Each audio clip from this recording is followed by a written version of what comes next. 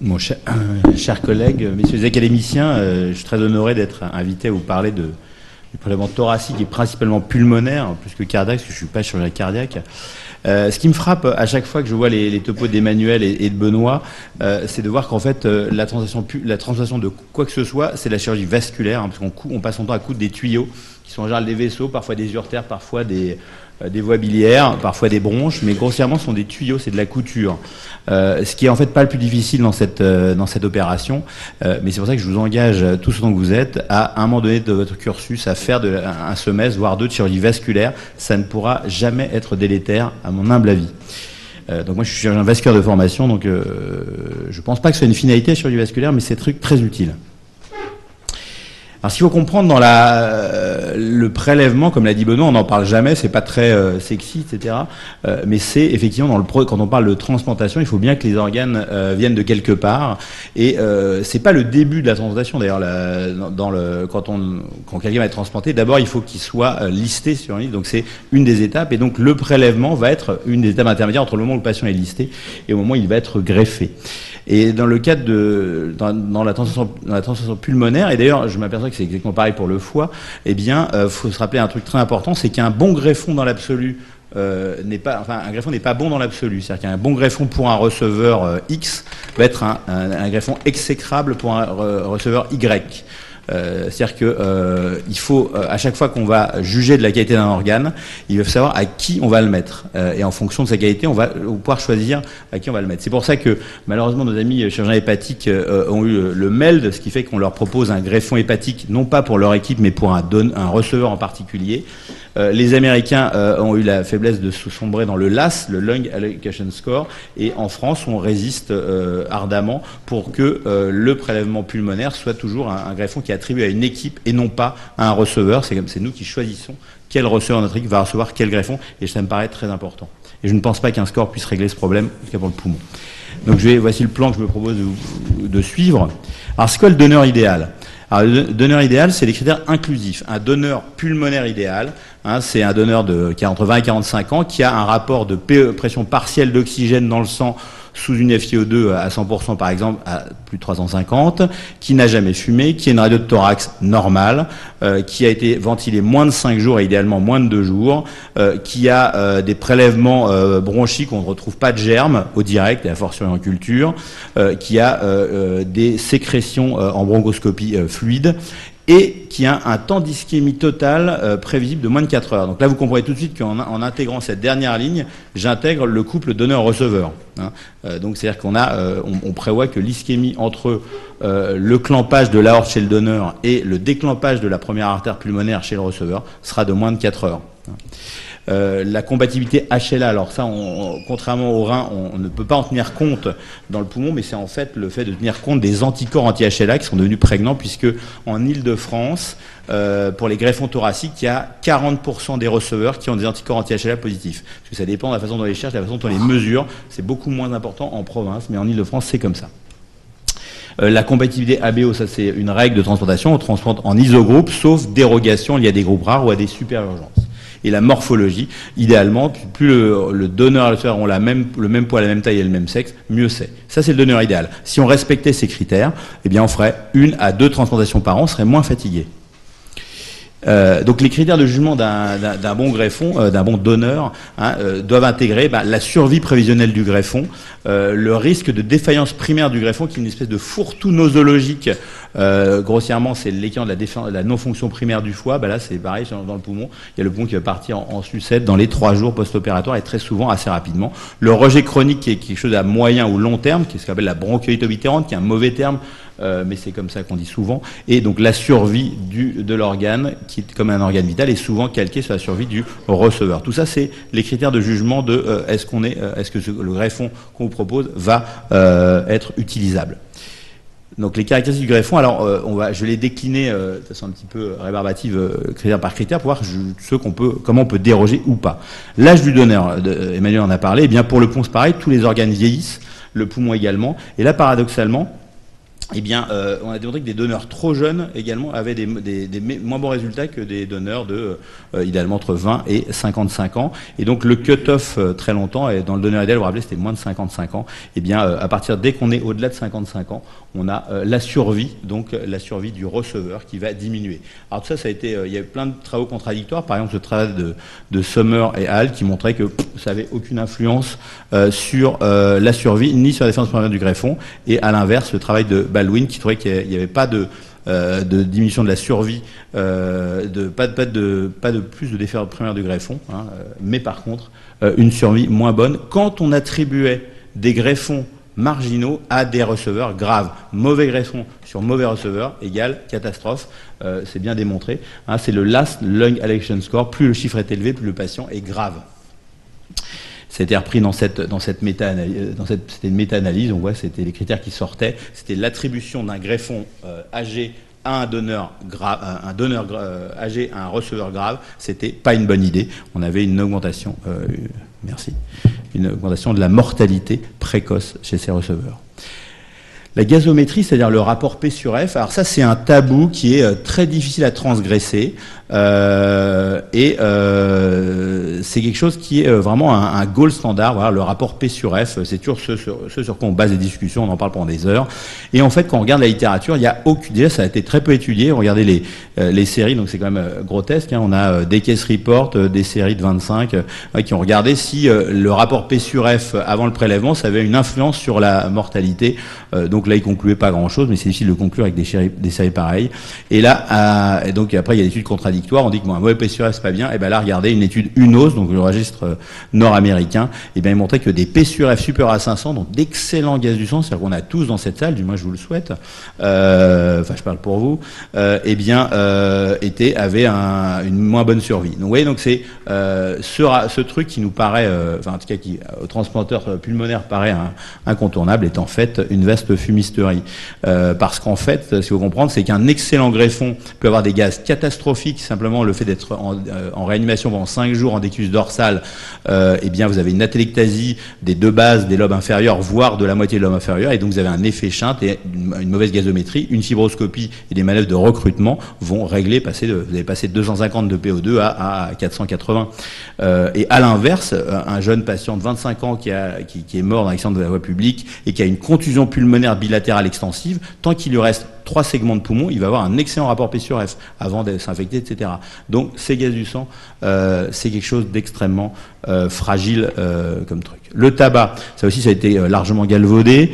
il y a des, on a montré que, il y gens qui ont montré que c'était, ça faisait rien. On n'a jamais montré que ça avait la fonction quand même. Hein. faut quand même pas charrier.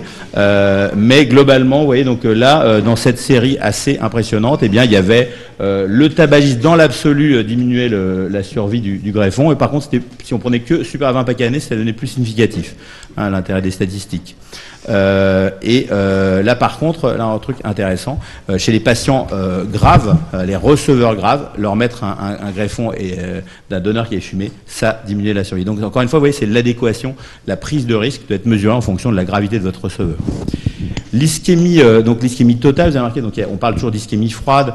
Il faut qu'en fait, on parle souvent d'ischémie totale. C'est pas très, pas très, différent en chiffres, mais l'ischémie totale, c'est le temps entre le clampage de l'ordre du donneur, le déclampage de la première, puis de la deuxième artère pulmonaire chez le receveur, parce que la transplantation pulmonaire elle est séquentielle, euh, et bien ça c'est l'ischémie totale. Il y a dedans un tout petit peu d'ischémie chaude entre le moment où on, clampe l'aorte et le, début euh, de, de, la pneumoplégie. Euh, et puis après, il y a un peu d'ischémie tiède, c'est quand on sort le, le, poumon de, de, la glacière, on le prépare dans la back table, il se réchauffe, on le met dans le receveur qui est à 37 théoriquement ou à peu près, et donc là, il va avoir une phase de réchauffement certainement délétère, et avant qu'on le déclampe donc c'est l'ischémie totale, eh bien, euh, donc ceci c'était très, très galvaudé. Euh, il y a donc euh, le registre UNOS qui n'a pas pu démontrer que si on dépassait les 6 heures d'ischémie froide, totale comme on veut, on avait, on diminuait la survie à 1 et 5 ans, et il n'y avait pas non plus de, de plus de défense primaire du greffon chez ces receveurs. Là, une équipe de Foch, l'équipe de Foch qui s'est occupée des mucoviscidoses, arrivait à peu près à la même conclusion. Euh, c'était pas significatif. Dans cette, euh, série, c'est écrit un peu petit, hein, mais euh, là, si on avait une ischémie froide un peu longue, ça entrait en ligne de compte. Il y a eu d'autres travaux plus anciens qui, euh, qui avaient donc là, typiquement avec des, des, phrases qu'on voit plus dans les articles maintenant, c'est Few problems with wrath beyond the six hour ischemic time. Ça fait quand même assez littéraire comme phrase. C'est un petit peu plus rigoureux maintenant. Euh, mais globalement, sur des séries, ils avaient remarqué quand même que euh, si on avait euh, des, euh, une ischémie froide longue et un donneur âgé, on avait des problèmes. Et ça, ça a été redémontré. Je vous montrerai une courbe dans quelques diapos. Donc, encore une fois, c'est souvent des critères dérogatoires de marginalité des greffons qui, pris isolément, n'ont pas grande importance, mais c'est le cumul euh, de ces greffons qui va poser problème. Les antécédents de pathologie tumorale, euh, euh, Emmanuel en a parlé, je vais pas revenir là-dessus. Il y a un truc qui est évident, c'est que plus on, vu que vous le savez sans doute, avec la pénurie de greffons, on prélève des donneurs de plus en plus âgés, aussi bien en cœur qu'en poumon, cœur-poumon un peu moins, euh, euh, chez les fumeurs. Donc euh, statistiquement, la probabilité qu'on prélève un poumon avec un cancer du poumon est très élevée. Alors nous, on l'a, on l'a, on, l'a jamais rencontré encore, mais ça va nous arriver certainement. Par contre, nous, on a enlevé des poumons avec des cancers qui n'étaient pas prévus. Hein, mais ça, ça, ça c'est plus désagréable. mais effectivement, si un jour on, tombe sur un cancer du poumon, de l'intérêt de l'extemporané, parce que macroscopiquement, c'est pas toujours évident quand le, le, le, truc est à l'intérieur du poumon. et bien sûr, c'est la fin du prélèvement, parce que je pense que les, quelqu'un qui a un cancer du poumon greffer les autres organes, je ne le conseille pas. on peut essayer, mais euh, je crois qu'on l'a déjà essayé. Le sexe. Alors euh, là, c'est la théorie du genre. Alors, bien sûr, on a, vous savez qu'il n'y a, plus de sexe, il n'y a plus de genre, il n'y a plus d'ethnie en, France, hein. euh, mais quand même, euh, c'est quand même intéressant de savoir si. Donc, c'est marqué en cristal. Hein, on ne connaît pas l'ethnie des gens parce que quand on va dire, Emmanuel, c'est en fait c'est illégal hein, de, de, de, noter l'ethnie d'un patient dans un, une base de données. En France, c'est illégal. On est un des seuls pays où c'est illégal. En, aux États-Unis, il n'y a aucun problème. en France, c'est illégal. Donc, par contre, le sexe, on peut encore, faut en profiter. Enfin noter. Euh, donc euh, là, euh, par exemple, dans la base de l'UNO, c'est bien le fait d'être transplanté, d'être un donneur de sexe féminin, c'était péjoratif pour le résultat de la transplantation. Et là, vous noterez que c'était pour de l'hypertension artérielle pulmonaire. En fait, c'est un biais, c'est un biais lié au fait qu'un autre papier dans un journal plus récemment a démontré que quand on a une hypertension artérielle pulmonaire, qui est une maladie rare, certes, mais qui, nous occupe beaucoup à Maryland Long, eh bien, il vaut mieux avoir un donneur plus grand qu'un donneur plus petit. Simplement parce qu'on a plus de lit vasculaire pulmonaire qui va pouvoir encaisser l'hypertension que va générer le ventricule droit pendant un certain temps après la transplantation. Et ben, les femmes sont plus euh, petites que les hommes encore. Ça, ça peut changer, hein. euh, mais euh, c'est encore le cas statistiquement. L'infection du donneur, là, c'est moins rigolo. Euh, alors ça, c'est aussi euh, c'est extraordinaire euh, quand on regarde l'article de Monsieur Weld en 2002. Euh, donc l'infection, l'infection du donneur, ça ne préjugeait pas du truc, mais ça dépendait comment on la cherchait. Si c'est un crachat, un prélèvement trachéal ou un prélèvement distal protégé, une brosse ou un, un lavage broncho-alvéolaire, ça n'a pas du tout, bien sûr, la même valeur. C'était donc dans son article, c'était une espèce de fourre-tout de tout ça. Par contre, dans l'article de avionitis, c'était beaucoup plus sérieux, c'était des prélèvements distaux protégés. Et là, clairement, quand on a des, germes sur des prélèvements qui ont une valeur bactériologique à peu près incontournable, et eh bien là clairement ça rentrait, euh, euh, entraînait euh, des patients plus longtemps ventilés, une durée d'intubation plus longue, une durée de séjour en, en, en plus importante et plus de morbimortalité l'équipe euh, de euh, Toronto, qui est le plus gros centre de transplantation nord-américain, donc c'est au Canada, au Canada, euh, mais ils font plus de, ils font plus de 150, enfin plus de 100 transplantations par an. C'est l'équipe de Shaft Kenavji, c'est pas facile à prononcer, je me suis beaucoup entraîné. ils ont regardé quels étaient les critères dérogatoires dans les donneurs dits marginaux, hein, par opposition aux donneurs euh, idéaux qui entraînaient de la mortalité. Donc la mort, ça c'est un truc assez objectif, c'est un truc assez objectif, c'est à peu près clair. Euh, eh bien, euh, vous voyez que bon bah euh, l'âge plus 55 ans, c'était pas c'était pas très grave a priori. Le fait de fumer, quand même, ça devenait un peu plus ennuyeux. Le fait d'avoir une radio de thorax anormale, alors ça c'est très vaste. Ça veut dire quoi une radio de thorax anormale? Bah c'est le contraire de normal, mais ça peut être assez, je vous l'accorde, 20%. Et par contre, le fait d'avoir du pu macroscopique à la fibroscopie bronchique qui est faite systématiquement à peu près par toutes les équipes, ça c'était une catastrophe, quand même 38% de mortalité. Là par contre on est loin de l'epsilon. Euh, ça, c'est une étude assez intéressante d'une équipe euh, espagnole pour l'interrelation entre le donneur et le receveur. Ils ont montré, eh bien, dans leur étude, que, euh, eh bien, quand on avait des, des, receveurs très graves, eh bien, si on, quel que soit le donneur, euh, c'était des résultats très avec une mortalité très importante. Ils n'ont pas mis en évidence que des mauvais donneurs, c'était pas significatif, mais sans doute un, un problème d'effectif, c'est monocentrique, un seul centre. Hein, mais ça, c'est certainement vrai. Ça, c'est la courbe dont je, vous promettais tout à l'heure. C'est un, vieux travail. Hein, il a 16 ans, mais je trouve qu'il était pas mal, parce qu'on voit, donc vous avez la, la combinaison de deux critères de marginalité, c'est-à-dire l'âge et l'ischémie froide. Eh bien, là, vous avez l'âge plus de 55 ans et la durée d'ischémie froide qui sont en abscisse. Et vous voyez qu'il y a un cut-off à 6 heures. Euh, tant que vous êtes euh, le donneur est jeune et fringant, il n'y a pas de problème. Mais dès qu'on euh, passe à 55 ans, ce qui est très jeune, hein, bien sûr, hein, quand on est à l'académie de chirurgie, il vaut mieux dire ça. eh bien, eh bien, dès que passé cet âge 55 ans, quoique jeune, vous avez une surmortalité tout à fait substantielle et significative dès que vous dépassez une ischémie froide supérieure à 6 heures. Donc encore une fois, donc ouais, donc ça, tous ces, tous ces critères de marginalité, c'est un continuum. Il a pas, il y a un donneur idéal qu'on peut définir un peu arbitrairement. Il y a un donneur marginal mais il y a tous les intermédiaires avec des combinaisons de marginalité qui sont euh, euh, visualisées de façon euh, synoptique dans cette diapositive. Alors, il reste quand même des critères de contre-indication absolue, faut pas charrier. donc, le donneur de plus de 75 ans ne sera jamais proposé, c'est-à-dire que c'est même pas, on ne demande pas votre avis, etc.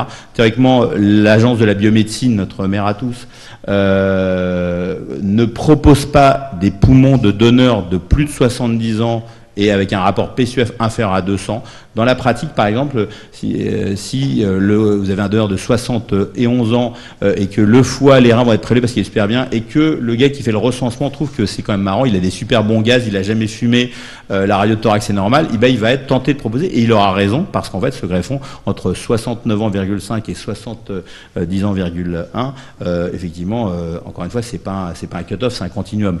voilà. Mais 75 ans, là, c'est un tabou qui n'a pas été transgressé à ma connaissance. Le fait d'avoir une chirurgie HIV+, pour le c'est une contre-indication euh, absolue. HTLV, euh, tu me l'as appris, je ne le savais pas, Emmanuel.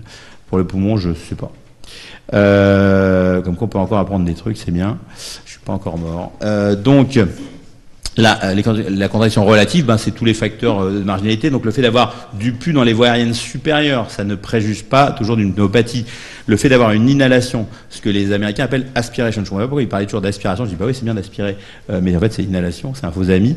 Euh, alors ça, c'est un critère extrêmement difficile à prendre en compte. C'est toujours marqué dans le cristal. Il y a 9 malades sur 10 qui ont inhalé, euh, parce que c'est très difficile de prouver qu'un donneur, a inhalé. La seule preuve, c'est si vous faites une fibrose et que vous enlevez des frites et des petits pois de la trachée, c'est un bon argument. En dehors de ça, euh, euh, euh, faire la différence entre la salive et les sécrétions bronchiques, moi je sais pas le faire. enfin, on sait pas le faire de façon immédiate. le fait d'avoir une anomalie radiologique unilatérale non réversible, bah, c'est une contre-indication relative. Le fait d'avoir fumé beaucoup, c'est une contre-indication relative. Et une durée prévisible longue d'ischémie froide, c'est relatif, ça dépend du reste. Hein. Si vous avez un greffon parfait, il a péta ou schnock, vous allez y aller. S'il est marginal et qu'il fallait le chercher à Larissa en Grèce, comme je l'ai fait deux fois dans ma vie, il bah, faudra bien réfléchir quand même. Quand on, a des critères de marginalité, des critères élargis, quand tous les, clignotants sont en rouge, mais qu'on a du temps à perdre et qu'on a, on a renoncé à dormir, il y a une possibilité pour s'occuper la nuit, c'est de faire euh, du reconditionnement pulmonaire. Donc ça, c'est quelque chose d'extrêmement intéressant intellectuellement et euh, bouleversant. Ce sera demain, euh, j'en parlerai. Donc si vous voulez rester, hein, il y a des hôtels sympas dans le coin. eh bien, grossièrement, bah, tout le monde refuse le greffon. Mais là, on dit, on est plus malin que les autres. On dit, ils sont plantés, je vais le démontrer. On va le chercher, on le prélève comme un greffon normal, on le ramène chez soi et on le met sur, un, sur euh, une circulation extracorporelle en, euh, en organes perfusés, ventilés, isolés, et on va le tester le reconditionner vaguement, mais surtout les, euh, on va voir, avoir des critères objectifs, savoir si ce greffon est bien ou pas. Et donc ça, ça a été donc très bien, euh, très bien étudié euh, par l'équipe, la même équipe du Toronto General Hospital, donc la même équipe qui a beaucoup développé cette technique inventée par, enfin réinventée par un Suédois en 2001 en Suède à Lund, Stig Steen. eh bien, eux, ils ont pris le truc, ils l'ont, ils en ont fait une machine de guerre. et donc après 4 ou 6 heures de ce traitement que je pourrais vous raconter pendant le déjeuner si vous voulez eh bien, ils ont des critères de euh, transplantabilité ou de non-transplantabilité qui sont assez euh, objectifs. Et ils ont démontré que ces greffons-là, qui avaient été refusés par tout le monde, considérés comme non transplantables, qu'ils mettent sur leur machine, eh bien, ils ont moins de défense première du greffon, grade 2 et 3, et une survie au moins équivalente à un greffon, entre guillemets, idéal ou euh, avec une petite marginalité pris dès le départ. Mais en fait, euh, ça, c'est, euh, pas parce qu'ils l'ont amélioré, simplement c'est parce qu'ils l'ont mieux choisi, mieux évalué, si vous voulez, le, savoir le secret. L'attention cardio-pulmonaire, je vais être très bref, un peu comme euh, Emmanuel euh, pour le rein, parce que ça pourrait nous prendre le reste de la journée. Alors déjà, déjà, il faut savoir juste une vague idée. Euh, l'attention pulmonaire, donc vous voyez déjà dans la salle, ça concerne pas grand monde, mais c'est statistiquement logique, hein, puisqu'il y a 350, 380 transactions pulmonaires par an en France. Des transitions cardio-pulmonaires, c'est-à-dire la transition en bloc du bloc cœur, du, cœur et des deux poumons, qui n'est pas considéré par l'ABM à juste titre comme une transition multi-organe, mais le bloc cœur-poumon est considéré comme un organe, mais c'est un organe fonctionnel. Eh bien, euh, il y en a à peu près, si on regarde les registres de la société euh, internationale qui s'occupe de ça, qui est l'ISHLT, il y en a moins de, autour de 50 par an dans le monde. Hein, donc déjà, ça ne concerne pas grand monde. Euh, et en France, il y en a en moyenne une dizaine, dont les deux tiers sont faits à Marie-Lanne Euh, donc globalement, c'est une niche. Hein. Le gars qui veut faire que ça, euh, bah, ça va pas l'occuper beaucoup. Hein. Je ne le conseille pas non plus. Donc dans le cœur-poumon, vous l'imaginez bien, il, y a quand même deux organes, les poumons et le cœur. Ce qui va être le facteur limitant, c'est le cœur, parce que c'est celui qui va être le plus fragile. Donc un, cœur, ça supporte une ischémie froide euh, beaucoup moins bien que le poumon. Hein. donc moins de 5 euh, heures, c'est un cut-off franchement important. moins de 5 heures, ça va. dès qu'on a franchi les 5 heures, c'est quand même les, gros ennuis potentiels, d'autant plus que le, entre guillemets, que le cœur est marginal. Donc il faut, quand on fait ça, il faut savoir qu'on va avoir un transport de moins de 3 heures. Il faut qu'il y ait un timing parfait entre le donneur et le receveur, c'est quand, grossièrement, quand le jeune chef de clinique arrive tout en sueur avec le, euh, greffon, eh bien, euh, il faut que euh, le receveur soit explanté, prêt à être implanté avec les sites anastomotiques prêts, l'hémostase du médiastin postérieur faite, parce qu'après on ne pourra plus jamais la refaire. voilà. Et si jamais le cas de figure où vous arrivez avec votre greffon et les gars sont en train de prendre le café en attendant d'inciter le receveur, voilà, faut, on peut faire l'opération, hein, mais vaut mieux le faire, à Moulin, ce sera le même résultat. Donc grossièrement, euh, le greffon cardiaque, hein, il faut là par contre dans le cadre du cœur-poumon, hein, je ne parle pas du cœur seul, hein, Guillaume Le Breton vous en dira peut-être un mot cet après-midi, euh, eh bien il faut un greffon le moins marginal possible, donc un donneur jeune, moins de 55 ans, pas d'HTA, euh, un, décès où il n'y a pas eu d'arrêt cardiaque ou le plus court possible, un low flow le plus court possible, euh, un matching en taille poids-sexe le plus proche entre le donneur et le receveur parce qu'on ne peut pas réduire la taille du bloc cœur-poumon et euh, une femme de 1m50 ne pourra pas assurer le débit cardiaque d'un bûcheron d'un mètre 80, ça c'est un fait, hein, même si on est contre la théorie du genre. Euh, eh bien, il faut que fonctionnellement que soit parfait, que la radio soit parfaite, que le CG soit normal, que l'échocardiographie soit normale ou subnormale, que si une coronarographie a été faite, sachant que c'est fait dans à peu près 50% des donneurs de cœur, euh, elle soit normale, hein, euh, et que la troponine ultrasensible, soit elle est, normale, soit si elle a été un peu élevée au moment du décès, ce qui est euh, physiologique quasiment, elle, se, elle a une courbe descendante. Et donc, c'est là, cœur bon, il faut un greffon cardiaque le plus parfait possible, un greffon pulmonaire le moins marginal possible, et une ischémie froide de moins de 5 heures. Quand on fait ça, on comprend qu'on n'en passe pas beaucoup. Hein. parce que cette équation, là, je vous donne un exemple. On a transplanté la semaine dernière une jeune femme de 30 ans euh, en cœur-poumon qui était en super urgence, c'est-à-dire que son dossier était sur l'eau de la pile. Depuis, elle a attendu 92 jours. On n'a pas eu de proposition en morphologie, etc., qui pouvait aller. En pratique.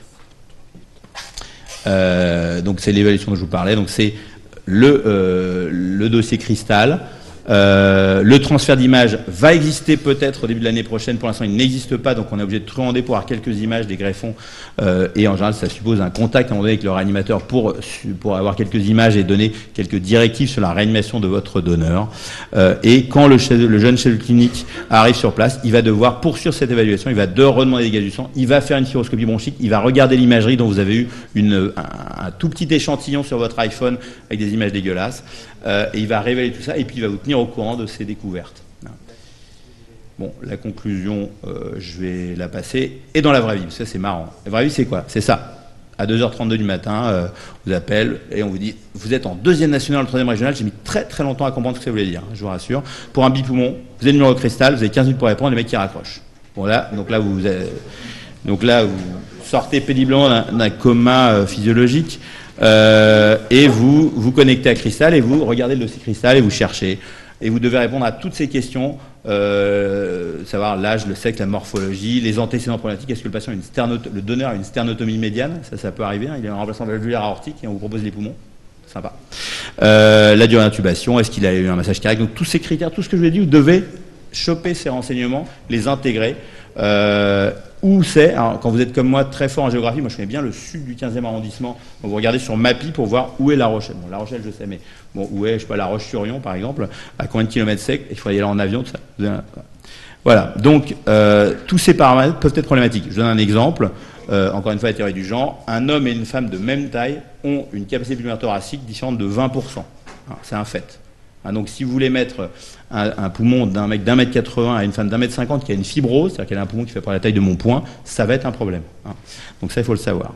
Donc parfois c'est très simple, un exemple, voyez, même euh, un monsieur, un donneur de 71 ans, euh, ok, euh, eh bien il est donc c'est en cours et il est refusé par les 11 équipes en 69 minutes. Hein. C'est pas moi qui invente le chiffre, comme ça, c'est assez rapide. Hein. C'est globalement, en général les gens ils ont même parlé de 71 ans, c'est arrêté là. Bon. Euh, donc, vous voyez, ce tabou de l'âge, il n'est pas complètement transgressé. Parfois, c'est relativement plus simple. Vous avez un donneur marginal 7 parce qu'il a 62 euh, ans. Euh, il a un deuxième stade marginal, il a fumé 30 paquets à l'année. Mais il a tué deux jours. la, cause du décès, c'est toujours intéressant pour raconter ça pour le dîner du dimanche prochain. Hein, c'est un monsieur qui a fait un choc septique à, un anaphylactique à pour une appendicite. Donc, c'est bien ridicule, mais il est quand même mort. Hein. Euh, et euh, donc tout est normal, hein, voilà, c'est propre, la radio est normale. Euh, les gaz du sang sont parfaits, vous avez un P sur F à 419, donc 100% PIP 5, voilà, c'est là. Bon, ça c'est très bien. et, pardon, euh, vous avez, voici le receveur, morphologiquement ça colle, et il n'y a pas d'antigène interdit. Vous avez le typage HLA de votre donneur, ces anticorps anti-HLA, il n'en a pas beaucoup d'ailleurs. Hein, vous avez les antigènes permis qui sont là, et quand vous juxtaposez le typage HLA de votre donneur et les anticorps anti-HLA de votre receveur, vous avez ça. Vous regardez après sur Mappy, comme j'ai fait. Donc le receveur, il était à Besançon, parce que bien sûr, ils n'habitent pas tous dans l'hôpital, il hein, faut les faire venir. Euh, et le donneur était à La Rochelle. Voilà, donc, euh, donc 409 km. Nous, le cut-off, 200 km, on y va en voiture. À partir de 200 km, on y va en avion. Hein. Et, euh, et, voilà, donc euh, euh, parfois ça marche. Hein, donc ischémie totale 4h25 à droite, 6h20 à gauche. Hein, on commence souvent par le côté droit. Vous voyez que ça c'est une insertion de clamshell. Le patient est ouvert comme un coquillage. Euh, transversalement section le sternum.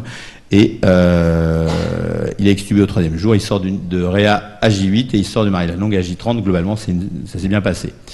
J'aime bien cette phrase de Benoît Long, qui est un de mes chefs euh, de clinique et qui avait sorti un, cours dans le même. C'est on peut transgresser ces critères qui, pour la plupart, sont empiriques et non validés. C'est possible au cas par cas. Et euh, je rajoute cette phrase que j'attribue à tort à Confucius hein, One uh, should not play with the devil too much. Hein, je rappelle que cette photo, assez célèbre, est un montage. Le euh, plongeur n'a jamais été confronté à un tel requin, mais elle est jolie quand même. Je vous remercie de votre attention.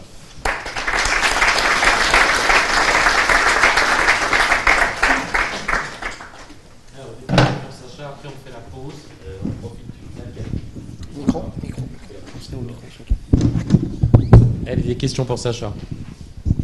Même si vous n'êtes pas thoracique, vous devez vous intéresser au thorax, je vous rappelle. On est tous. Euh, on... c'est le célèbre aphorisme de chirurgien général le thorax c'est l'abdomen, l'abdomen c'est le thorax. En faisant allusion aux, zones, euh, aux zones de transition. Oui. Le thoracique de l'Assemblée. Euh, bonjour, on, on, voit dans les rapports P sur F qui sont souvent ventilés en 100 ans euh, il y a des réanimateurs qui parent beaucoup de, de collapsus, de dénitrogénation. Est-ce que vous les maintenez en 100% ah, ou est-ce que vous disez de vite 100% BIP 5, c'est... Euh, alors, euh, l'air ambiant, c'est 21% d'oxygène. Euh, très souvent en réanimation, pour avoir assez de chiffres, on est à 71% d'FiO2. Ça change de score hein, pour le score Apache ou les trucs comme ça, donc de gravité. Et euh, en fait, il y a des, donc 100%, c'est qu'on est en oxygène pur. 100% PIP 5, oxygène pur et euh, pression. On, est, on, garde les alvéoles euh, avec une pression positive de fin d'expiration à 5 mètres de mercure pour qu'elles ne se collapsent jamais. Euh, mais en fait, c'est non, c'est une convention parce qu'on c'est totalement artificiel, mais on, toutes les études ont été faites en si on met les patients en 100% PIP 5 pendant 10 minutes après des manœuvres de recrutement, on fait, on attend, on fait les manœuvres de recrutement, on met en 100% PIP 5, on attend 10 minutes, on fait des nouveaux gaz, on récupère les gaz.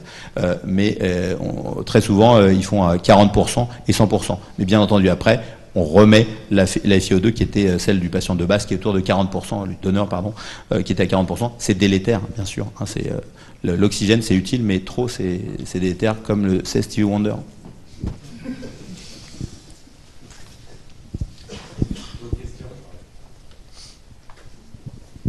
C'est délétère que pour le poumon, hein, pour les autres organes. Merci. Euh, monsieur, pour euh, la maladie d'hémophilie, est-ce que euh, facteur A ou B, est-ce que c'est la même chose comme les autres ou bien est-ce que c'est les mêmes conditions? Quel que soit receveur ou bien donneur Alors, j'ai la chance de ne jamais avoir transplanté d'hémophile. Je pense que ce serait une contre-indication relative, en tout cas une difficulté d'accès à la greffe indiscutable.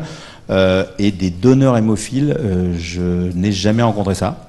Je pense que c'est quand même un problème, euh, mais ouais, voilà. pour le poumon, je n'ai jamais rencontré le cas. Je n'y ai jamais pensé d'ailleurs. Est-ce qu'il y a d'autres questions? Bon, alors je vous propose de faire 15 minutes de pause.